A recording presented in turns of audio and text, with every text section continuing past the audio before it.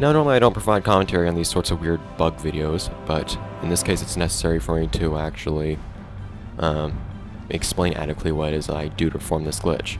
As you can see, here I am inside of the brain of the final boss. I have discovered a way to complete the final boss without using the bubble bowl or cruise bubble. Just run through here and break the fuse. There we go, final boss done. Um, so how does you actually do this glitch? Oh, yeah, you got a little music video because I have 100 spatulas. So, to do this, I use a couple of glitches, one of which I found on my own, which is what I'm showcasing here. I also figured out, uh, use a couple glitches from other people. Now, somebody else already put up a video of how to complete uh, the first stage of this fight against the robot from the outside without using the cruise bubble or bubble bowl, so I'm not going to do that. Um, you do some weird glitch where you get tossed up in the air on one of the platforms and uh, touch an invisible golden spatula and that just ends the fight immediately. For this part of the fight,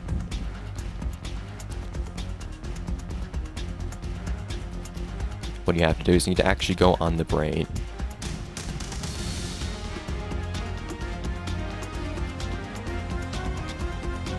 Yep.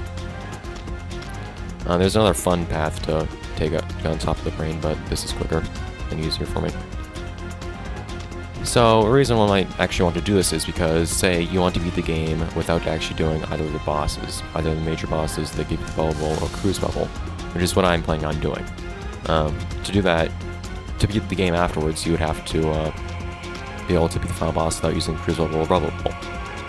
So, one glitch that I did not find on my own is, see, when you're ever break the fuse, this closes you and you can't get out. It looks like you can get out right here, but you can't. That's just an invisible wall. Or at least it's invisible from this side. So, there's a glitch you can do right here, where If you jump on this red piece up in the top right corner, you can actually clip through the ceiling. Huh, it's usually easier than this. There we go. Looks really trippy. But now we're in the second tube. You can actually see if you go up here, I believe, and activate the cruise bubble, um, that these two tubes are actually very close. Anyways, so let's break this fuse. Now, time for the glitch that I actually found on my own. And this is what lets you get uh, outside of, or to the inside of the brain. This is what you need to do to be able to uh, complete the game without using the cruise bubble or bubble bowl, because I can't get out of here, I can't get through there. I'd show you myself trying to clip through that little uh, hatch, but I'd probably get stuck. So, I found out right here, this game doesn't like this thing here. If I just stay here, it kind of shifts me back and forth and likes to teleport me too. Now this takes some time and some trial and error, but if I keep nudging myself around in here, eventually I will enter a infinite fall state. And you have to know what to do here, otherwise you're going to just get yourself stuck uh, infinite fall state forever while clipped inside of the wall. It takes some patience. Just keep trying to approach at different angles. Darn it! So I'm so good at that I'll teleport you back for some reason. Game really doesn't like this ledge. Of course, nobody cared to really fix this since you're not supposed to be able to be playing as SpongeBob over here anyways. Okay, so now I'm in free fall state. So if I pre so if I hold left direction of this wall here, the tube, and keep spinning. And quite possibly jumping as well.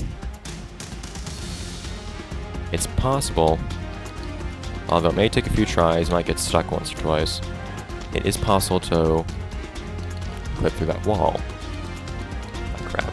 20 minutes later.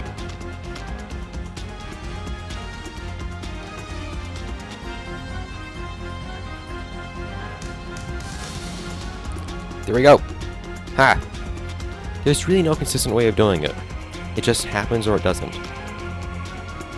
I I can't really offer much advice, just kind of keep jumping, moving the stick around, and the big thing, the big important thing is just to keep attacking. I don't know why, but that's what you want to do. So if you actually have the cruise bubble and you wonder what the hell the inside of this thing looks like, feel free. And yes, there are boundaries on the outside of this thing. And if you fall down, no, you can't get back up, but you will be uh, down at the bottom of the brain.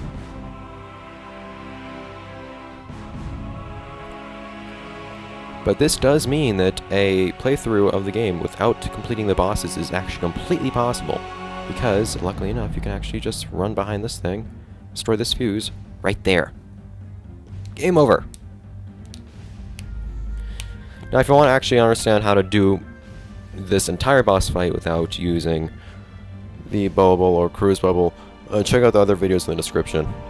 I'll explain how to do that trick that lets you go through uh, boundaries that let me do that skip towards the beginning, uh, where I just jump straight to the last platform, and also I will also uh, show a video of how to get past the first part of this fight, where you actually find the robot from the outside by doing some weird glitch that skips pretty the entire fight.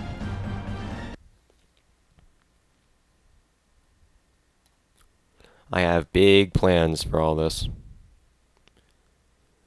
Big plans. Thanks for watching.